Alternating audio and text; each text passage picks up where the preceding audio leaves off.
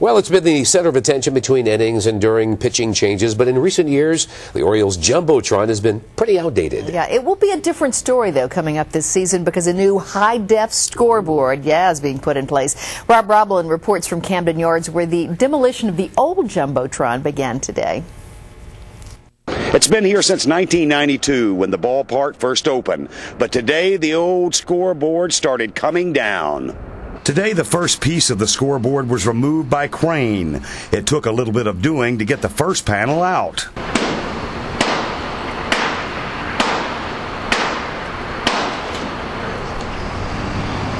Each panel weighs about 1,500 pounds. It will take workers about a week to take the scoreboard and the Jumbotron down. They've already prepared the mounting points and unbolted it, so it's all ready to come out. They'll come out in 9 by 16 foot pieces uh, from the scoreboard and about five by five foot pieces where the Sony Jumbotron is beneath Legg Mason. Something should come down pretty easy now that we got an airspace to work in.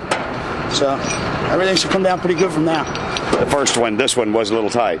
Yeah, yeah, because it had to be squeezed out between the metal work and stuff like that. On the scoreboard alone, there are 45,000 light bulbs.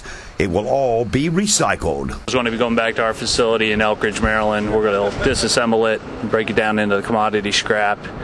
Uh, light bulbs will be taken to a lamp recycler. What will replace the old, we are told, is a state of the art system.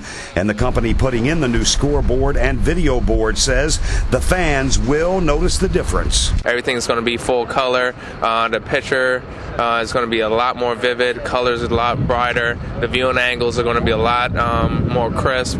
You know, so overall, you're getting a great product. The new system should be ready to go by opening day, which is 82 days away. Rob Roblin, WBAL TV, 11 News. I'll bet